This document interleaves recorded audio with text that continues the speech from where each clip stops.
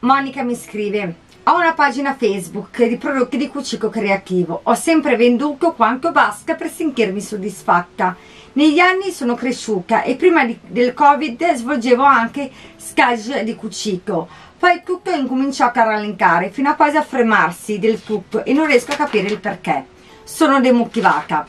Allora Monica il fatto che comunque tu hai questa pagina Facebook comunque conosciuta e le persone hanno fiducia in te perché se sei riuscita a coinvolgere eh, chi ti segue e addirittura portarle vicino a te per i corsi di cucito, gli scaggi di cucito è secondo me una cosa fondamentale e molto importante.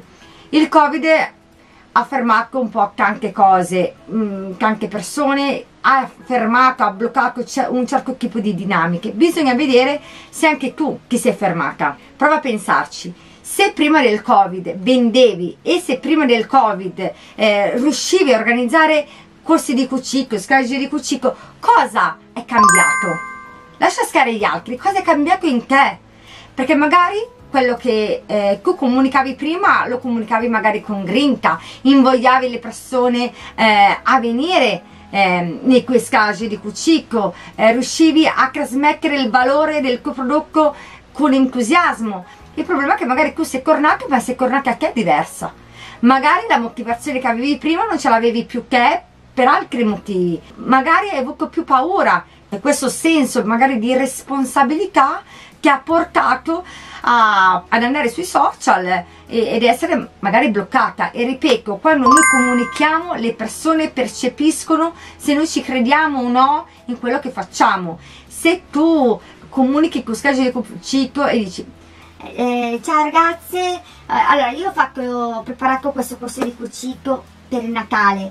Insomma se volete venire a me fa piacere tu capisci che comunicarlo in questo modo la gente anche se poi propone un progetto bellissimo, cioè io ad esempio non verrei mai al tuo corso di cucito. Secondo me è importantissimo capire come stiamo comunicando il nostro servizio, il nostro prodotto, l'enfasi, ehm, la grinta che ci mettiamo, le strategie di vendita eh, basate sulla scarsità perché sono le regole del marketing che forse andavano di moda 15 anni fa dove comprate solo 5 post a disposizione.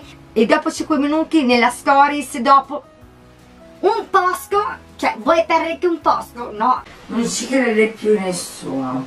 Quindi utilizzare queste strategie della scarsità se non sei un brand fanno scancare la community. Ti un esame di coscienza e parti da te cerca di capire perché non stai più vendendo cerca di escludere questa cosa qui della comunicazione cioè cerca di capire se veramente non sei te il problema cioè nel senso che stai comunicando un po' di malumore. Ci può essere quella giornata di sconforto perché ti è capitato una brutta notizia eh, che è nato male un progetto e lo vuoi condividere sui social. Quello è bello perché siamo umani e quello va fatto.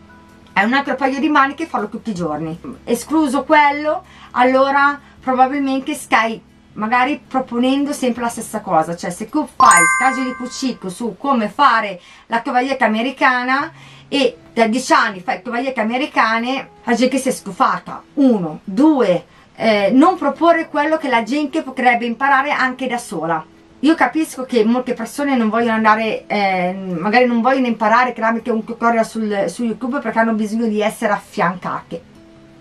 Punta su queste cose dai un motivo per cui le persone dovrebbero venire da te punta su quei bisogni elencali, proprio fai uno studio su di te, fai uno studio sul tuo prodotto, sui tuoi servizi ed elenca i bisogni. La gente compra perché, perché ha un bisogno da sfamare, ok? Non compra perché l'altra persona è simpatica, perché io posso essere simpaticissima, ma magari proporre qualcosa che a nessuno gliene frega niente, io non vendo, anche se sono simpaticissima cioè ok? La gente comprerà me nel momento in cui io propongo qualcosa che la persona ha bisogno ok? Io vendo solo in quel momento lì. Tutto il resto sono chiacchiere.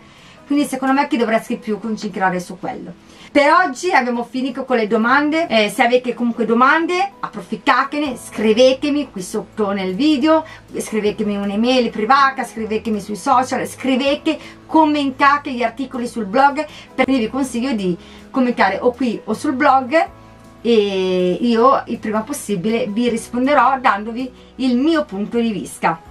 Ciao e alla prossima!